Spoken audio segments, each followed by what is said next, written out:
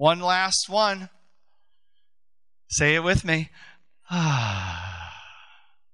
right, maybe maybe you had a chance to rest over the last couple days. Maybe it was more like frantic and running and doing and trying to figure things out. And so uh, there was one more rest stop that we're going to make today, and it's really going to connect to where we're going to go for the next month. But again, I want to define this word rest. It means a silence, a quiet waiting, a repose. We're going to read two portions of Psalms today, uh, two short little spots. And we're going to jump right in. So, again, it's going to be on the screen, but if you have your Bible, you can look as well. Psalm chapter 40. Here's the first verse I waited patiently for the Lord. All right, we're all miserable at being patient. So we're just going to end here. All right, we're just going to preach about one verse, right? Just this line I waited patiently for the Lord. Again, let's look at this word I waited patiently. It's an action, it means to tarry, to expect, and to wait for, wait on, and wait upon. I want us to realize that, right? That that's an important thing that sometimes we wait for, we wait on and, and upon. And this idea of expecting, right? Like when we're waiting for something and we're expecting God to do it, right? It's different than saying, well, I, I hope, I hope he's gonna, ha- something's gonna happen.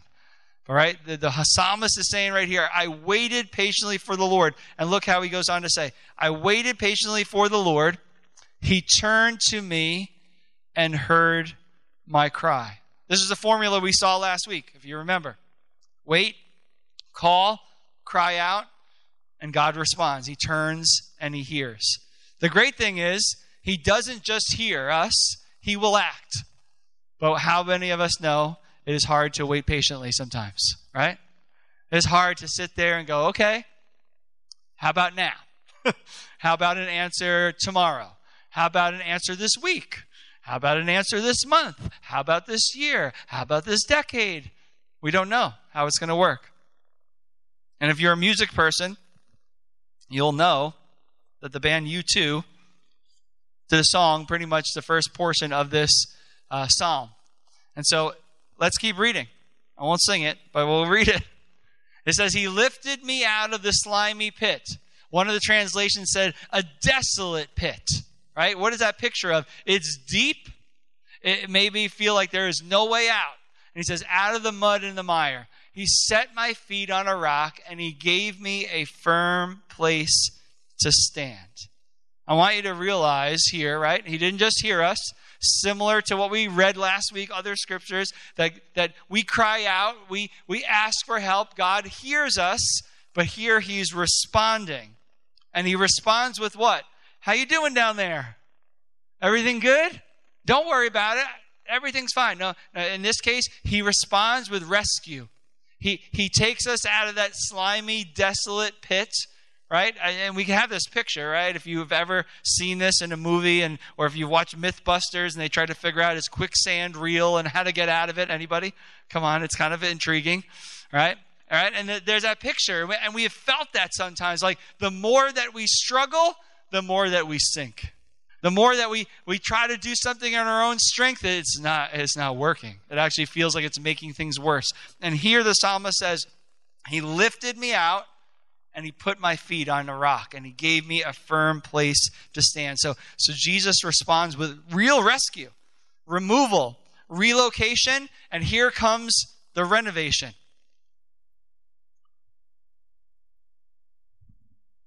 Some versions say this about he lifted me out and he gave me. It says he set and gave me. Some versions say, some, some say he set and made my feet. Remember last week we read that in Psalm 23? He makes me lie down, right? You ever, were, you ever, you ever told as a, as a kid, like, you need to take a nap? Anybody? You told your child that? Come on. Now, don't you wish someone would tell you that? Like, go take a nap. Yes, thank you. That's exactly what I was thinking. Right? Isn't that inter- interesting how that changes? Why? Right? I always tell parents too when they, when when their when their child is young and they say, "Oh, they won't sleep. They wake up so early." I said, "Don't worry, it will change. and it'll be the completely opposite. You're trying to get them to wake up. You're like, come on, please. Right? You were up. You looked at me. You had a conversation. Right? I remember that my mom used to tell these stories, and was, I felt bad for her. She'd wake me up in the morning. She'd look at me. She'd have a full conversation, and then I'd go back to sleep. And then she'd come home from work and say, Why didn't you do what I asked? Well, what do you mean? Well, I had a full conversation. You looked at me. You even responded. Oh, I don't remember any of that. Right? What does it have to do with my message? Nothing, but I wanted you to know about that. Now, realize that sometimes, right, this verse, right, he lifted me out, he he put me on the set my feet, and again, sometimes the versions say, He made me, He made me. Stay here. Stay here. This is where I want you to stay. And look what happens in the next verse. He put on a, he put a new song in my mouth, a hymn of praise to our God. And sometimes when we wait patiently, if we're honest, we're, we're, we're inclined to do this. Hey, God, I have some recommendations on how this should happen. I have some opinions and I have a specific timetable that I'd really like this to work. Uh, and if I can, you know, this is suggestion box is full. I'm filling it every day here we go. This this would be good. Can you do this? And I and I like it in this color, and I like it in, in this way. And sometimes we need to just be silent and just wait patiently. But I like that, right? That's how this psalm started out. I waited patiently for the Lord. And then it has that it does it it jumps right to the next spot. We don't know how long the psalmist waited. But look at this verse. It says, He put a new song in my mouth. And this is why words are so powerful. This word, new, is a root word that means this. The word is chadash, and it means to renew, to repair, and restore. So let's go back to this verse and let's put it in context. He put a song of renewal in my mouth. He put a song of repair in my mouth. He put a song of restoration in my heart. Amen? And sometimes that's what he does. You, you, have waited patiently. He not just hears you, now he's responding, and, and, and it produces this like, oh, you know what? This is what God has done. And there's another byproduct of this. He put a new song in my mouth, a hymn of praise to our God. Many will see and fear the Lord and put their trust in him. So people see it, they observe it, they witness it, they see it played out in real time in our lives. Okay? And just to be a quick realization, in case you didn't know, people are watching you. Especially as you start to say anything about Jesus, anything about God, anything about faith, anything about church, and they're curious. And they're going to start to watch you and see. So they're going to see it. They're going to see it played out. Then, then it says they will fear. Ultimately, that word means is revere. They're going to start to have a, an awe about it. Why? Because they're, they're going to see what God's doing in your life. And then it says, then they, then they will put their trust. Trust means to be bold, confident, secure, and sure. And they will begin to trust not in themselves, but start to be curious and maybe start to see, observe, and be in awe and start to trust Jesus instead of themselves because they're watching you. They're seeing it played out in your life and they're saying, wow, how is this person doing this? How is it, how, how you respond to Jesus will impact others. And you're like, I didn't even say anything.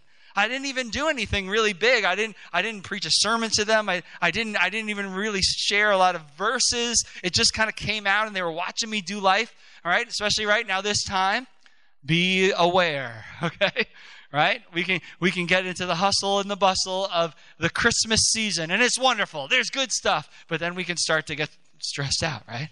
People catch us in a store and we're running and we got 49 things to do in 49 minutes, right? But even that is how you start to respond can be a huge witness to somebody else. They're like, "How are you doing this? Aren't you stressed out? Aren't you frantic?" And again, people say this all the time, right? I can't wait for this to be over.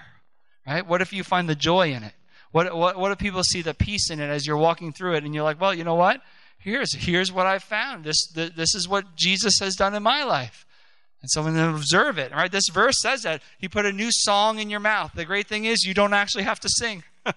All right? You can. If someone catches you singing, that, that's fine. but it can just be something that's coming out of your mouth, right? That song of renewal and repair and restoration. This is what God's done. And it goes on to, we're going to jump to another psalm. Similar in the idea, but I want you to see the context of it. Psalm 57. It says, When he had fled from Saul into the cave, talking about David. All right? So w- w- David's on, on a real sunny day and everything's great, and he writes this psalm. Actually, no. Right? He's running for his life, literally. It's not a metaphor. It's like David's on the run. He's being hunted down, he's being attacked. And so, what does he write in this psalm? We're only going to read one verse here, but it's an important verse. Have mercy on me, my God. Have mercy on me. For in you I take refuge. I will take refuge in the shadow of your wings until the disaster has passed.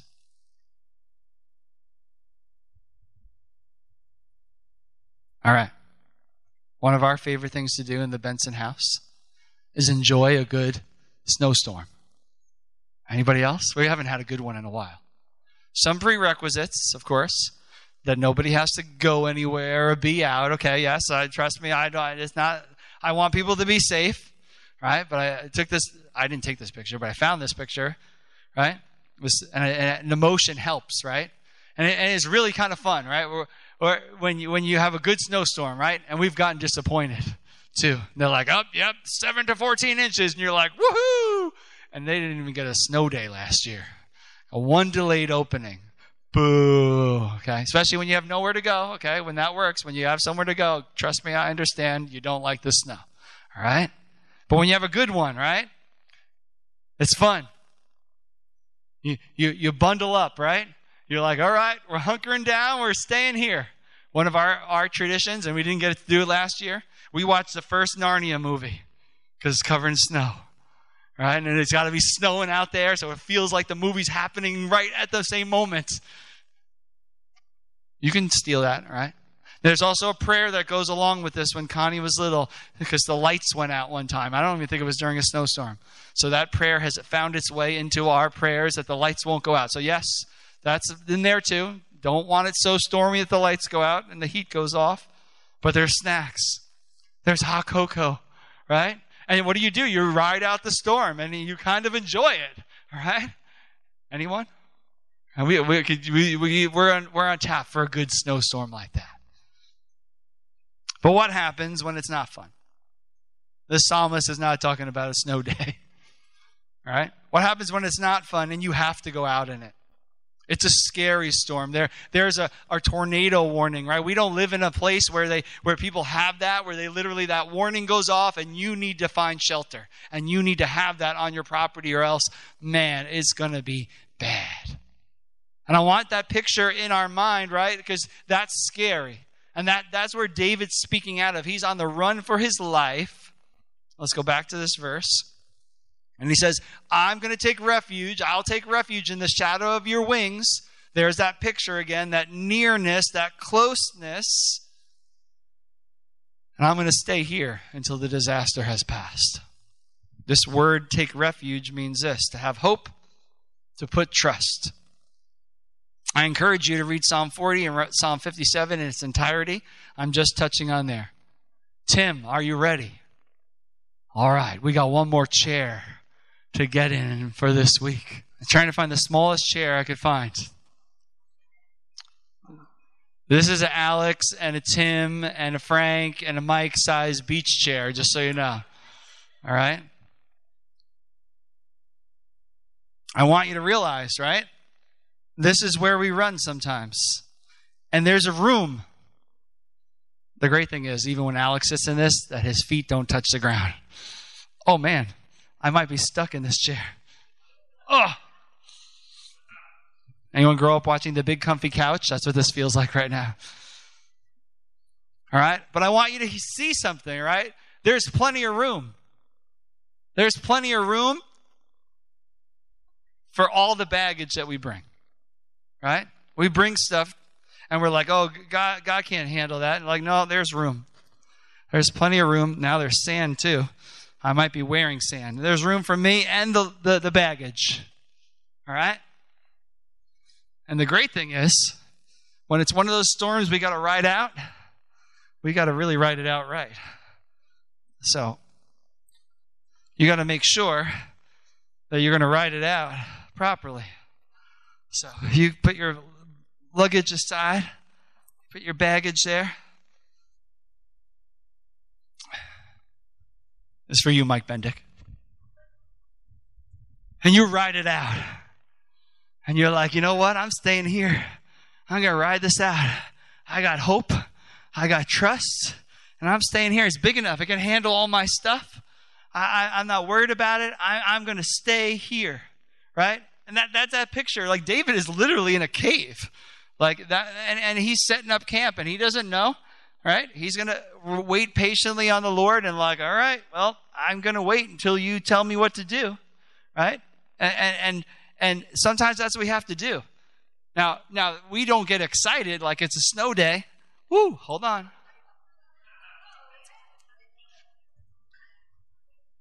There you go. You never know what's going to happen at True Light. We might not start to get excited, but I want you to, to let your heart not be nervous and at peace and realize there is comfort and security and safety. Why? Because the Bible proclaims it, and our life has an opportunity to show it. But we have to do what the verses say. We have to wait patiently on the Lord. Now, remember, we talked about actively waiting. It doesn't mean we get to sit in a chair all day and do that. But that's where our heart is. Our heart is like, all right, I'm, I'm going to stay steady.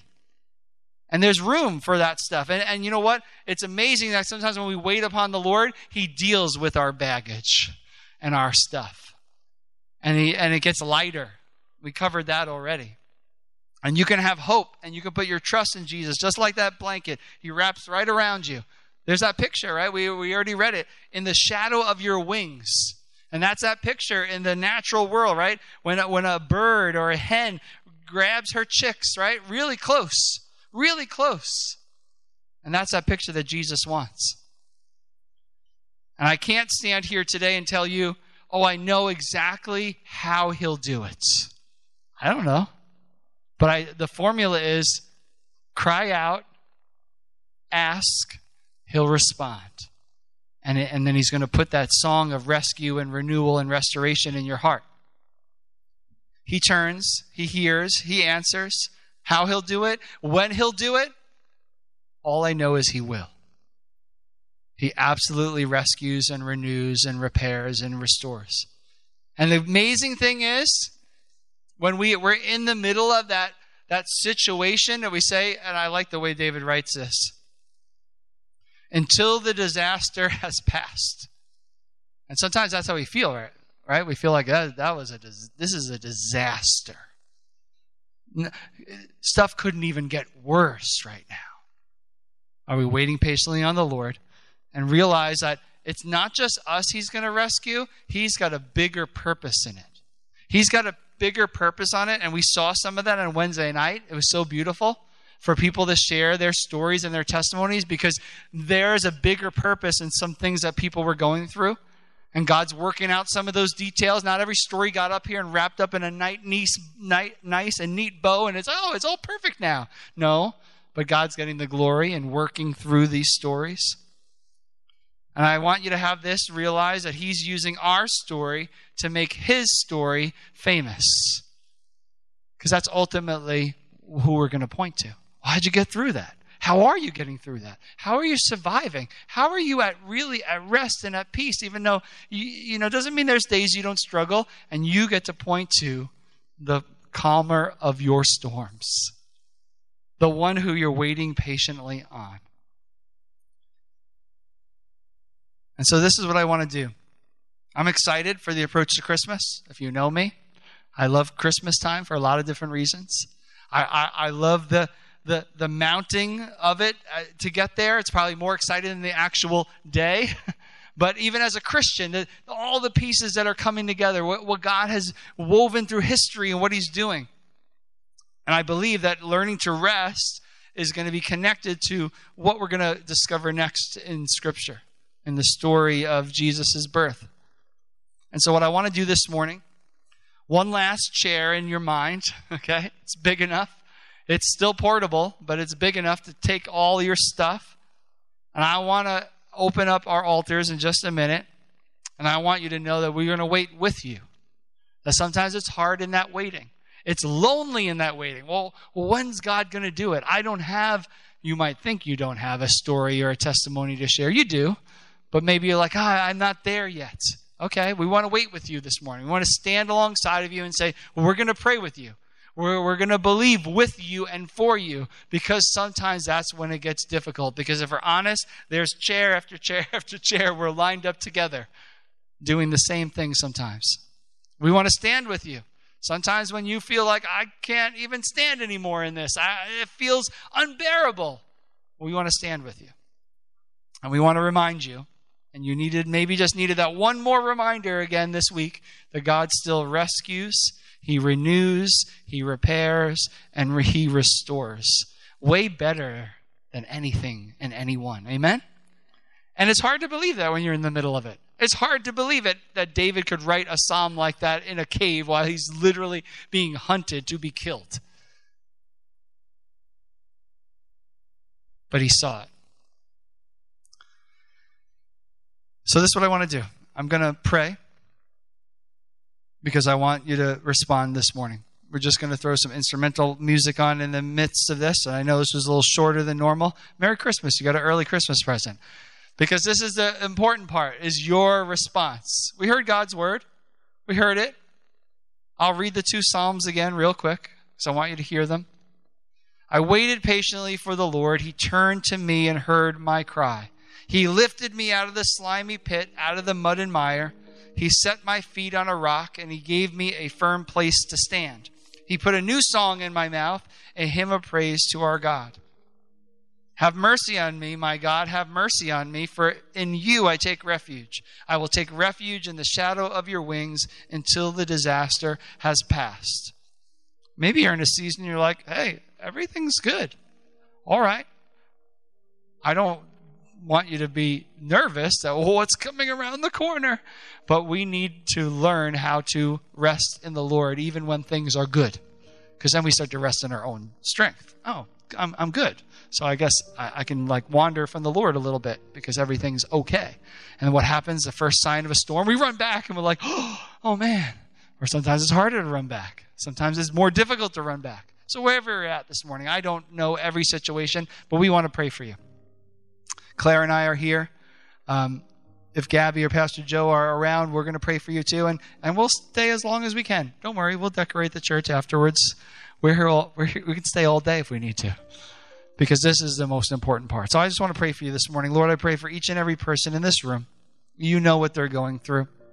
And you know, God, that we've needed to be reminded, even these last four weeks, of how important it is to rest in you. And I pray if anybody in this room is struggling with whatever it is, it, it might seem insurmountable to them. It might seem like a disaster. It might seem like the water is very calm whatever it is, Lord God, I just pray that we just all really realize how important it is to patiently wait upon you. And maybe someone's looking for an answer today. Maybe they're looking for direction. Maybe it's not a, a stormy situation. It's a it's a quiet situation where they, they feel kind of lost and they're wandering. And especially, Lord God, for the person that is unsure of where they are at with you, God, whether they believe, whether they're following, whatever it may be, God. I pray that people will just respond to you this morning and they will stand to be prayed for. And God, we'll just stand in awe of what you're going to do. And we'll stand on faith in your word and believe you to do the work that only you can do. In Jesus' name.